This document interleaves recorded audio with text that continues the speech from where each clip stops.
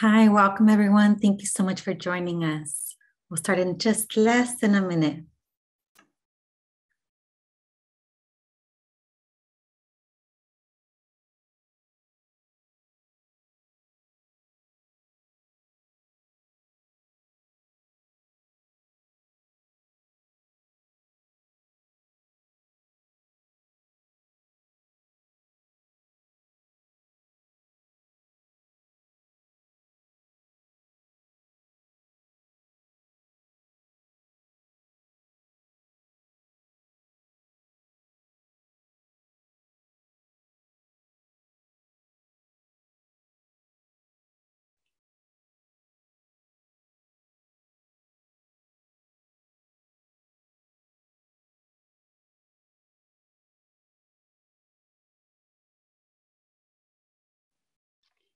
Hi, welcome everyone. Um, thank you for coming to the Bronco Family Space Virtual Grand Opening. Um, before we get started, we just want to take a moment to um,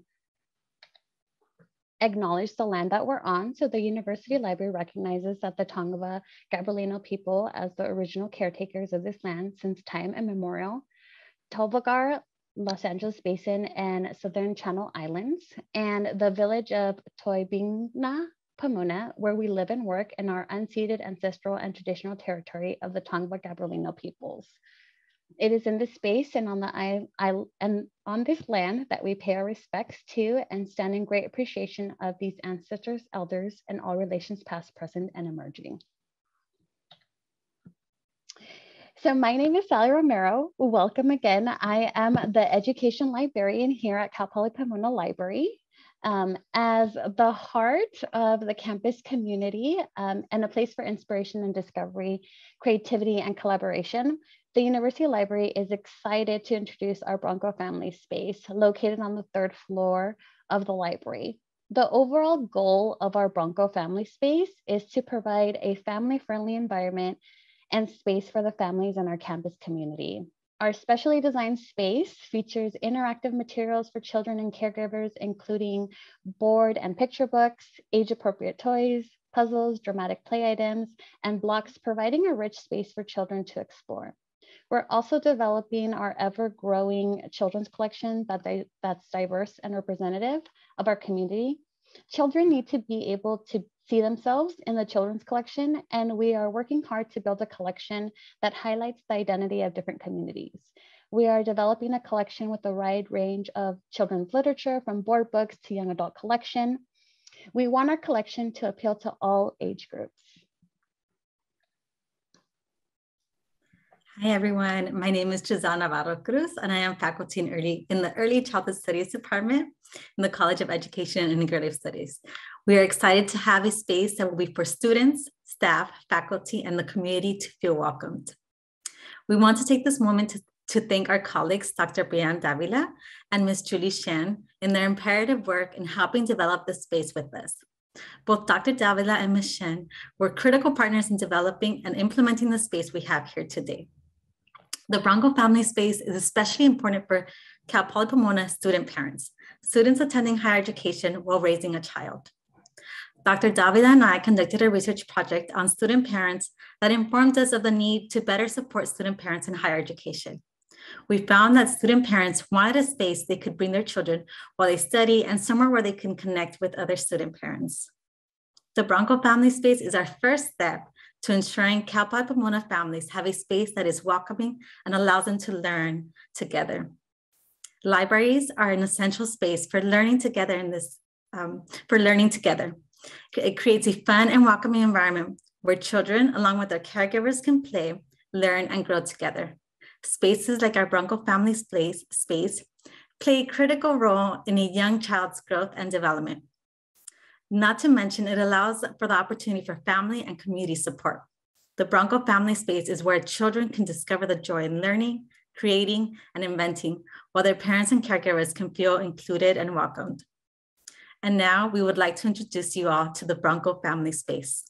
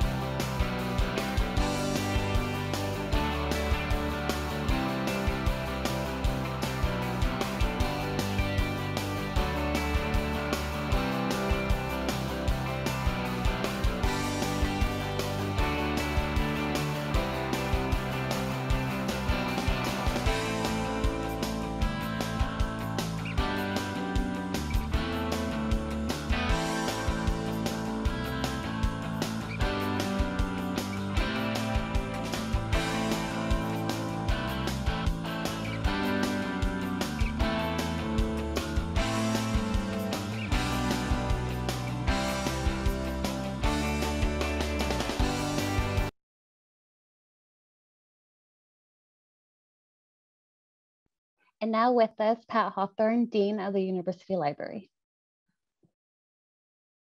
Hi there. Thank you everyone for coming. My name is Pat Hawthorne and I'm the Dean of the University Library. The library is the geographical center of campus and one of the most heavily used buildings on campus. Yesterday, we welcomed over 6,700 students back into the library as we returned to campus. It was so vibrant and we in the library were just so excited the students are back. For much of the campus community, they see the library as a second space away from outside the classroom, their home away from home. And we recognize the library is essential to student success and academic achievement. Many of our campus community members use library services, but they're not just students. Many of them are also caregivers, whether they're parents or they're caring for younger siblings or younger family members. Our goal was to recognize the needs of this community and create an inclusive and welcoming family space inside the library. A place where a parent can study and expand their horizons while succeeding in their own academic studies. And in the same place and space, the younger family member can enjoy fun books to read, toys to encourage creativity and ingenuity, and space where they can um, imagine and problem solve and hopefully um, find a welcoming space that they might want to attend and be a Cal Poly student in the future. We did not create this space ourselves. There were many groups involved in the planning and development stage. The library worked collaboratively with Early Childhood Studies Department, the Sociology Department, and the Office of Student Success. The Bronco Family Space is an invaluable addition to our library services. With this addition, we continue our promise of improving access and equity for the entire Cal Poly Pomona campus community. And we hope that for those students who are in caregiving roles, that they'll find that this space welcomes them and um, the younger family members and those in their care that are here with them. It is now my privilege to introduce Terri Gomez. Dr. Gomez is one of our key partners in this endeavor and a champion for Cal Poly Pomona students. She serves as the Associate Provost for Student Success, Equity, and Innovation here at Cal Poly Pomona. For more than 20 years in the California State University system, she has held several positions prior to her current role, including Professor and Chair of Ethnic and Women's Studies, Founding Director for the Poly Transfer Program, and Associate Dean of the College of Education and Integrative Studies.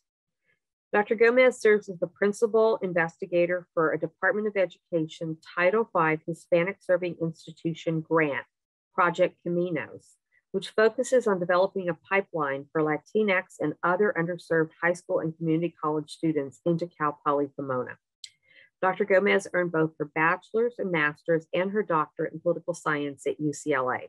It's my pleasure to turn this over to a key partner for the University Library.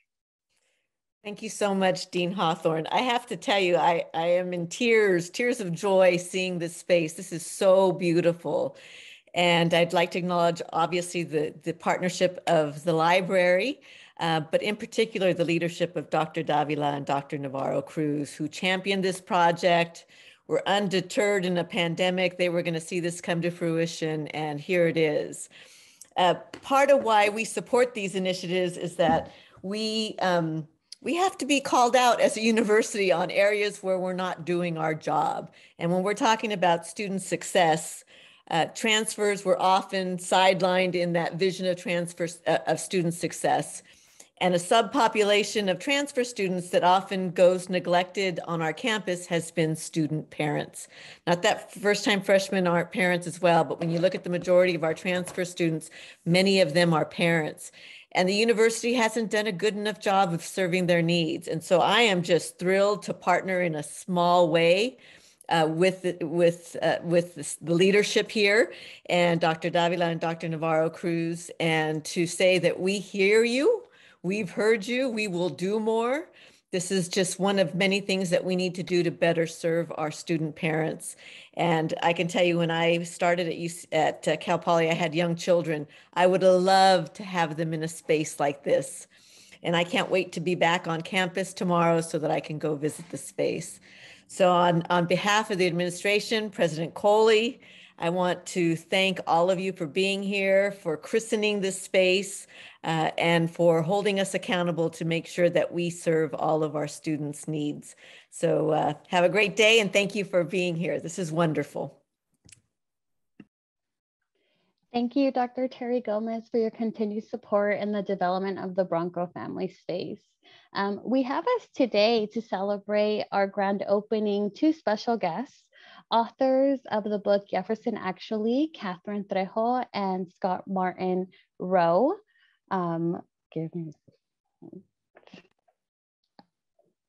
and just a quick bio on um, both of them. Katherine, Katherine Trejo is a first generation Salvadorian American college student, graduate with a bachelor's degree in politics and Latin American Latino studies from UC Santa Cruz.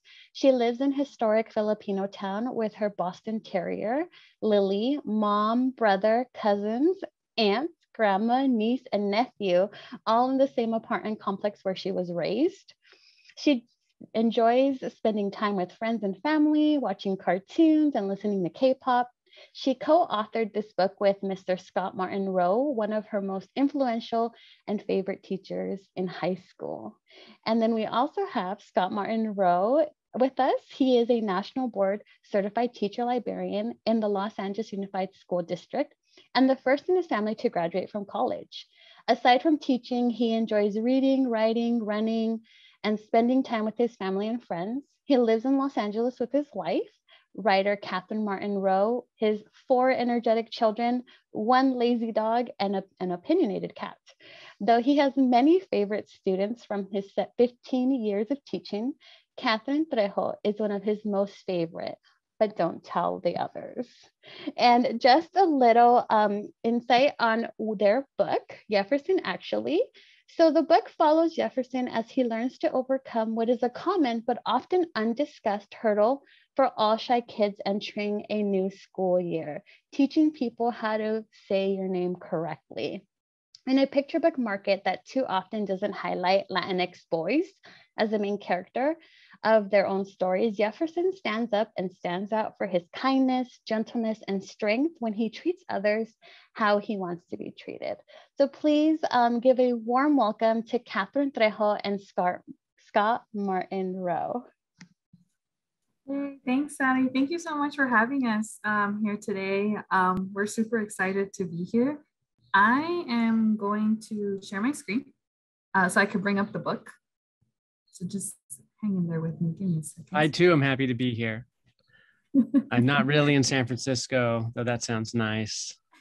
Um, but the back room of the library here is a little dirty, so I thought I'd give you something else to look at. All right. Okay. Let's start. So this is Yefferson actually.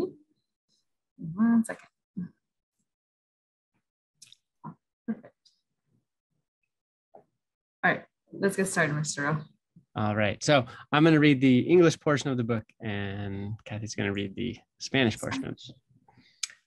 It's my first day at my brand new school. Hoy es mi primer día en mi nueva escuela. My mom moved to a new hospital. She's an orthopedic surgeon. She can name and locate all 209 bones in the body from memory. Mi mamá se cambió a un nuevo hospital. Ella es una cirujana ortopédica. Mi mamá puede nombrar y ubicar los 209 huesos del cuerpo de memoria.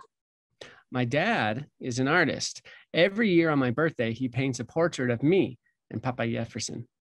Mi papá es un artista. Todos los años para mi cumpleaños, pinta un retrato mío con Papa Jefferson. Papa Jefferson mostly stays home and works in our garden. Papá Yefferson se queda principalmente en casa y trabaja en nuestro jardín. I was named after him, which is so cool because he is my favorite person. Me pusieron su nombre, lo cual es genial porque él es mi persona favorita. Good morning, everyone, and welcome. I want to introduce you to our new friend. This is Jefferson. Buenos días a todos y bienvenidos. Quiero presentarles a nuestro nuevo amigo. Este es Jefferson. Uh, it's actually. Eh, en realidad. Let's welcome Jefferson to our school. Démosles la bienvenida a Jefferson a nuestra escuela. Um, hi. Eh, hola. Jefferson, I've never had to start over anywhere. I've had the same friends for as long as I can remember, and we've always known the sounds and spellings of one another's names like they belong to us.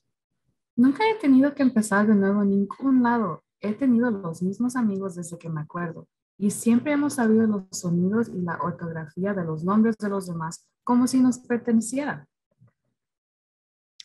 Nobody else got my name right for the rest of the day. Jefferson, Jefferson, Jefferson, Jefferson.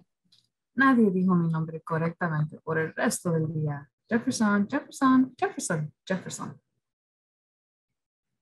Hey, Jefferson, want to play kickball with us?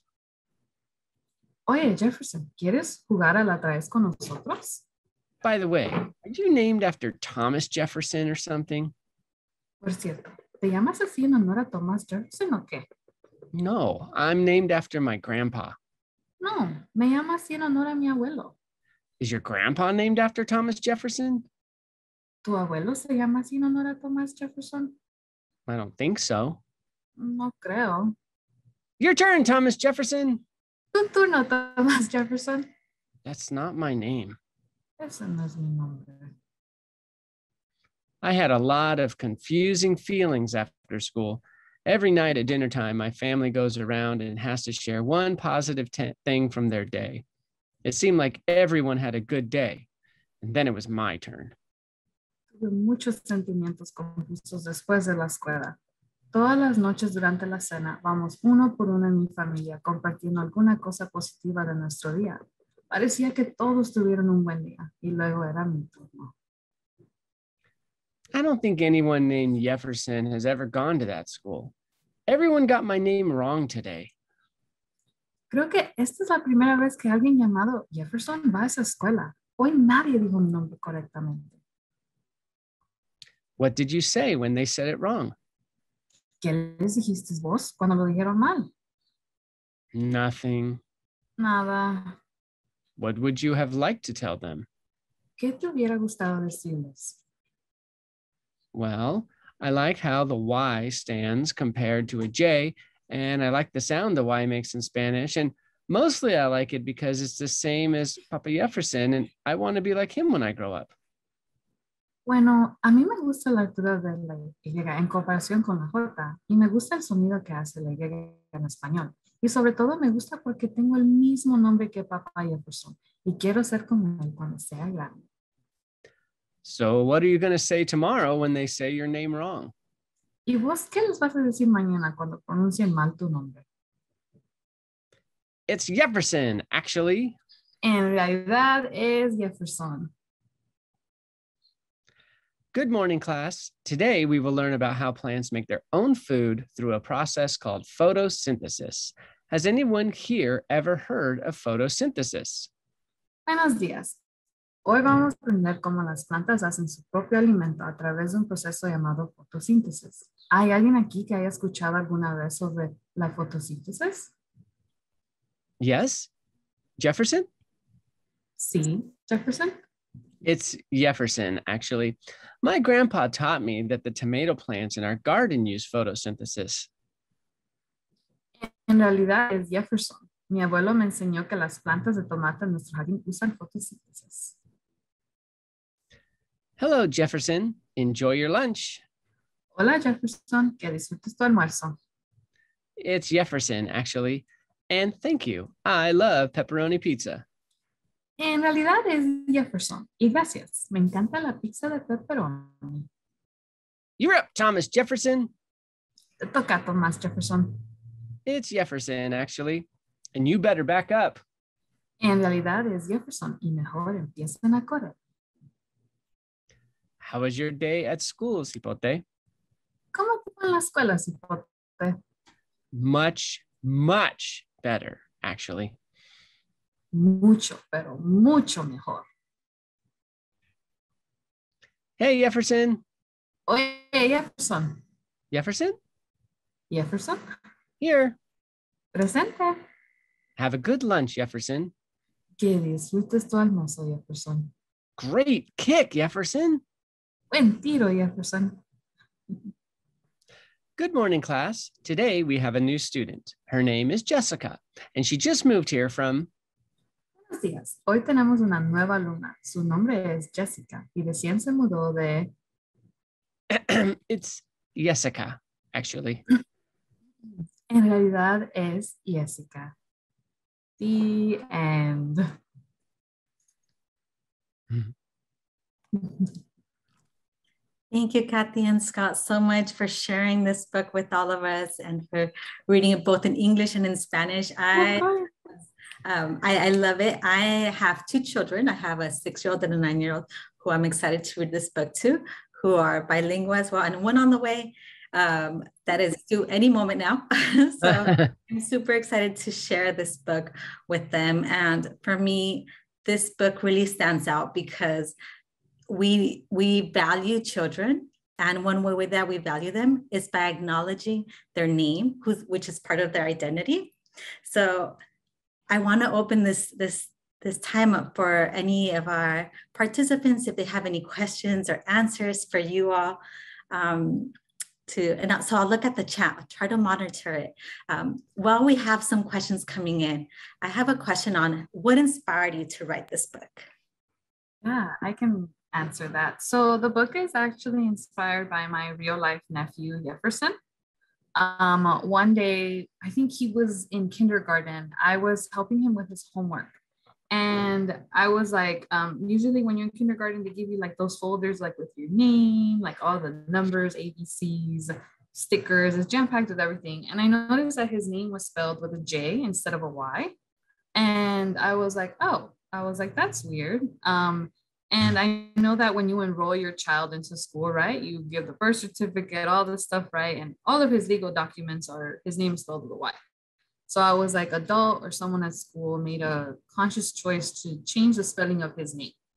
Um, I ended up putting a, a little note to the teacher asking her to change the spelling of his name to the original with a Y and let her know that it's not misspelled or anything like that. It's the way that it was written. Um, and then the next day he came back with a new folder and it got me thinking i was like oh i feel like this is something that he's going to experience often. I feel like um, so many children experience this right? Like with their names um, and one of the things that i never wanted my nephew to feel or any child to feel is feel like their name is a burden. You know i feel like we all have a duty to try our best to always pronounce and say someone's name as correctly as possible. So um, that is what inspired the book. And I recruited my high school teacher, Mr. Ro- I don't call him Scott, I call him Mr. Rowe because I can't find it in me to not to call him Scott. Um, and yeah, and that's where the book came from. oh, I love that story. Yeah. And you know, even in college, as us as faculty and staff acknowledging when we mispronounce our students' names, right? Because it really is really meaningful to them. It's part of their identity. So I, I really uh, enjoyed it, and I, I like what you shared about your your family member. And you know, I thinking of my children and how their names will be mispronounced. They have second names that are pretty tricky. Um, they're not Hawaiian. So Sebastian Ekatzin is a tricky name and Galilea Yarepi is a tricky name. Um, so reading this book to them so they know that their name is valuable and it's part of them and knowing a little bit of your background about your name. So thank you. I mm. haven't seen any questions pop up. Um, let me see. So I have another question for you. Um, so I love and I advocate for multilingualism and the value of you know speaking more than one language right? So what made you decide to write this both in spanish and english? Well i mean one of the i think one of the things is uh, we uh, kat maybe you have a better sense but i think when we uh, sent this book out to the Lil' Libros the idea was that they do you know all of their books are bilingual um, and then my all of my kids uh, attend uh, a dual language immersion elementary school, so they're all learning Spanish, and they're you know working on English in school as well. Um, so it's just like having these books around is really important for them, so that they're constantly seeing English and Spanish. That you know we're not trying to favor one language over the other because 95% of their day at school is in Spanish. Um, and so many kids in LA, you know, show up to school, uh, kindergarten, only speaking Spanish. Um, so why not? Yeah. Yeah, I mean, yeah, and it's uh the you know it's all the Lil' Libros, like all of their books are in Spanish, like Mr. Ross said. Um, and it just made sense for us to partner and like publish our story at a place that really values uh, two languages, right? Um, and it's a strength, right? And I feel like um, the more that um, that students are seeing uh, their language and the language that they're learning, or vice versa, I think the more you know, the more more powerful it is for them to continue to want to keep learning.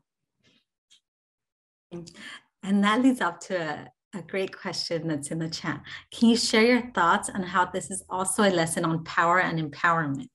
Yes. Um, it's so at the core, one of the biggest um, themes of the book is advocacy, like self advocacy. Um, we're big proponents that children can learn advocacy really, really early on. Um, and I think that being able to to learn advocacy is such an important skill at such a young age. Um, I even think about, you know, as they get older, this is advocacy that they're going to carry on into adulthood. So now you have students that know how to self advocate. They're like maybe negotiating their salary at their first job and like they're not afraid. Um, and it's also like advocacy that will turn to others, right, in other communities. Um, so advocacy is a, is a really big, that's like the, I would say one of the biggest themes in this book. Um, but also something that I did want to point out is that we, you see that he only, he doesn't just correct his peers, he also corrects adults. Uh, and I think a part, like if you're gonna, one of the things I always say is like, if you're gonna teach your child self-advocacy, like be prepared that they might use it on you too as an adult, right? And it's like, being able to reciprocate and like listen to them and like hear them is such an important part. So it was really important for us to also show like the character interacting with peers and with adults because we also because you know adults are not always right. you know, sometimes we make mistakes and mm-hmm. um, you know, so yeah. And, you know even in high school I, you know i'm a high school librarian and even here and over the years in the classroom i've had students um, who i remember in the same grade as I think the same class uh, Kathy was in, where uh, her name was Jessica, and it was spelled Jessica on the oh. roster. And I heard other students calling her Jessica. I heard people calling her Jessica, and I asked her, and I said, "I want to make sure I get your name right. Is it Jessica or Jessica?" And she said, "It doesn't matter."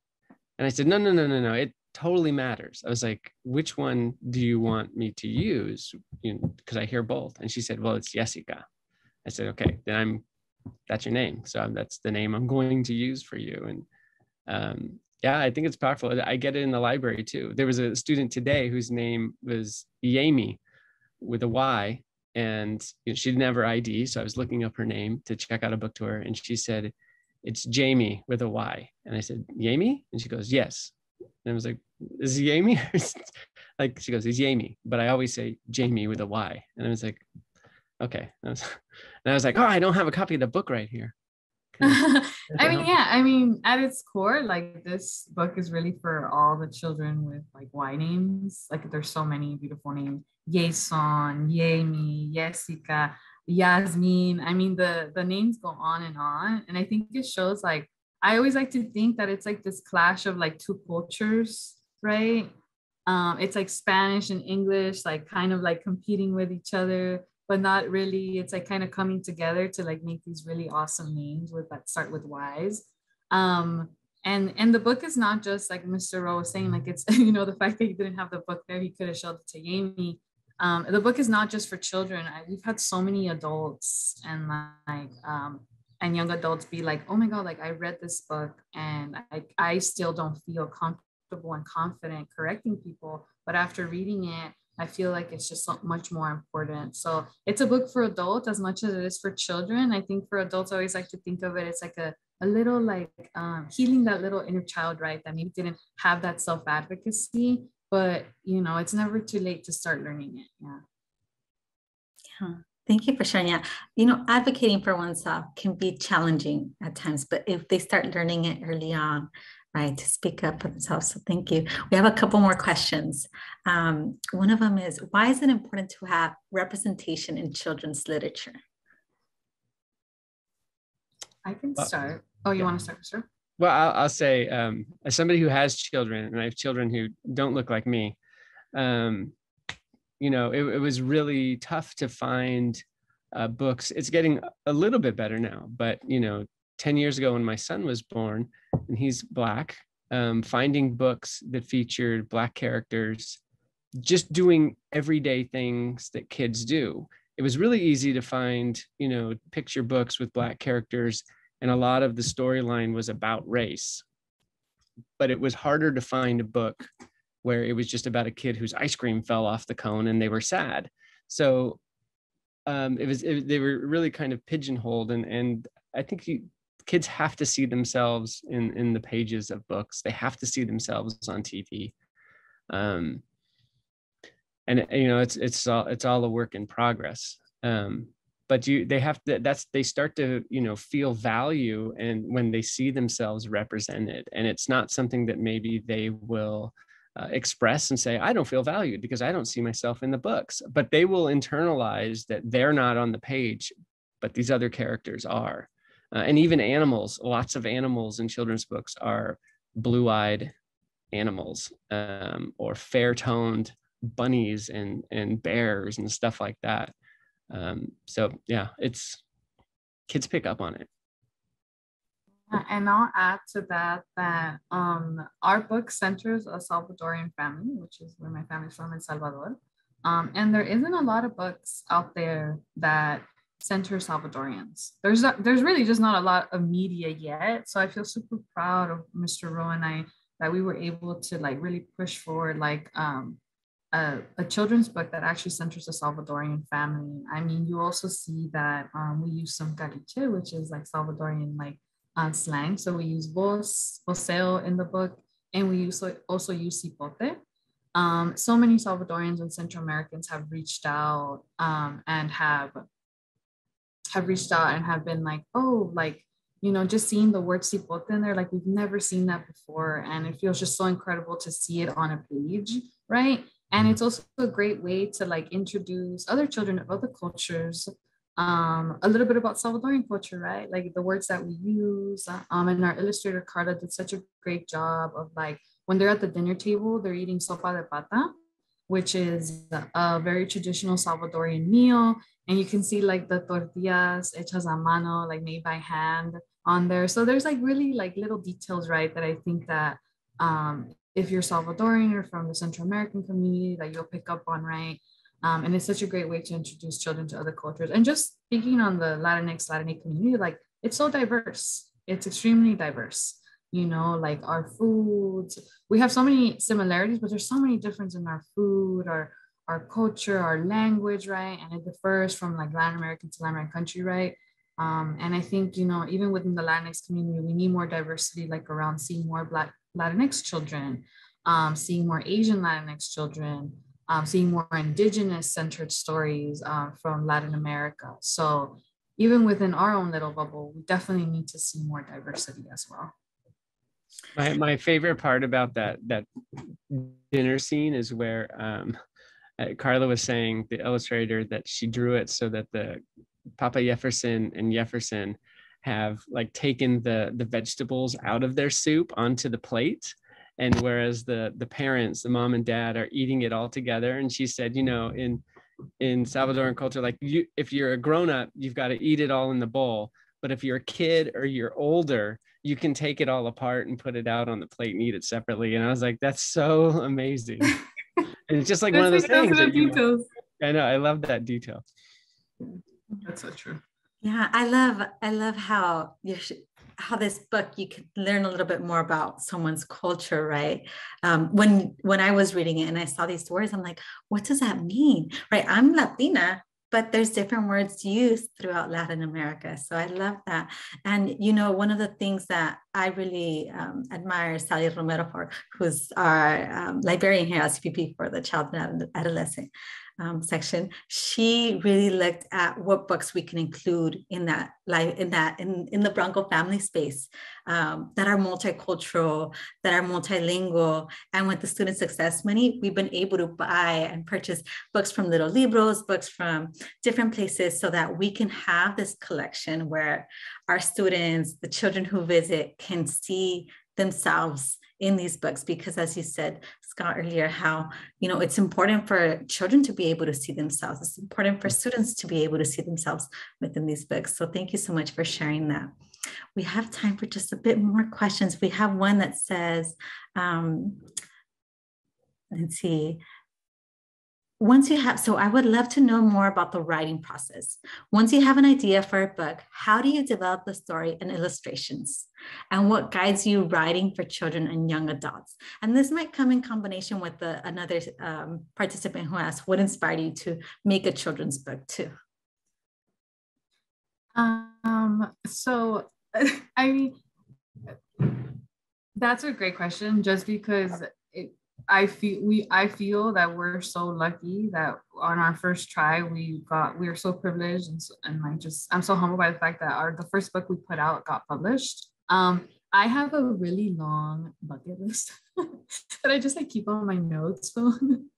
um, and one of them was one of them is like owning a grocery store, like seeing the traveling here, and um, one of them was like a children's book so a couple like I I saw that and I knew I know Mr. Well, Mr. Rowe was my English teacher. He's seen all of my writing, basically seen me grow up. And um, I knew that he was a writer himself. He's he's at school, y'all. So if he's it's probably because he has to help a student right now. Um, and I uh, I knew he was a writer and that he had some novels. Um, his wife Kate is also a writer, so it's just a house full of writers. So I was just like, I don't know anything about the, the, the industry. And Mr. Rowe really didn't know um, anything about the industry that much either. But he has children and he has like, like he has so many books in his house. Like his kids are so well read. Like if you ever go to his house, there's like shelves and shelves of books everywhere. Um, and one of the, the biggest advice I always give people that want to write books or or how to get the process started, just read a lot of children's books. Like I read them for fun like all the new ones coming out i'm like okay so what do they do here? How do they do this? Um, so a big part of our process was like reading children's books and then just just putting something down on paper. That was like literally our goal. For like about a year we actually met every week. He would like put his like um, children to bed. His wife would be in the back writing. I would come over and we would just write um, and just figure it out as like we go so the process was really organic and just learning as we go. And the wonderful thing about working with Mr. Rowe is that he's a teacher.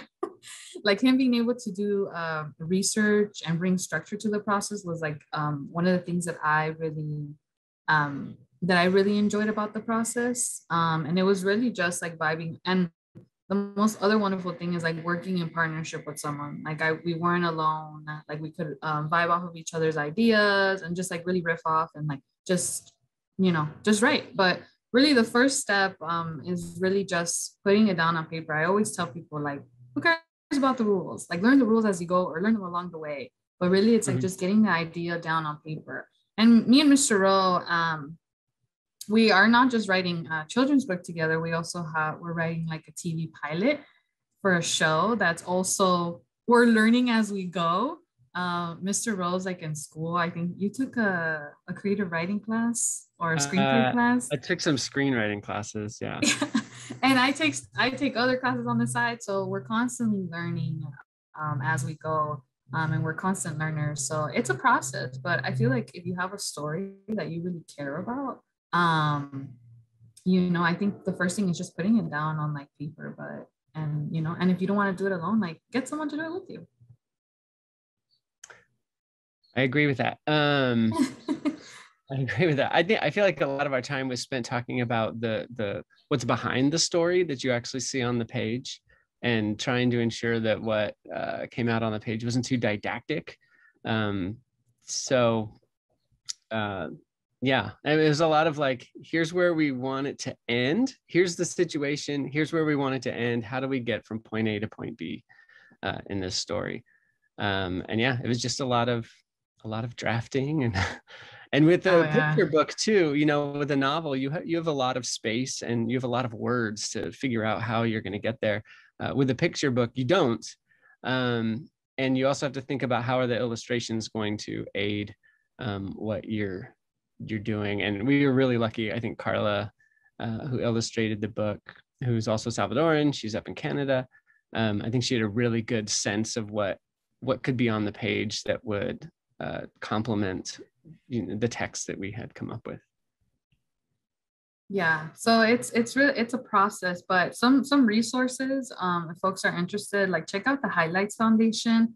Um, they have scholarships and other like different workshops around literally like the 101 on how to write a children's book. Also check out Las Musas, who um, I did. Um, you can also through Las Musas you can find other great Latinx Latinx authors um, of every race, um, different books from all over. Um, and they have some really great resources around like how to write books of um, all different levels.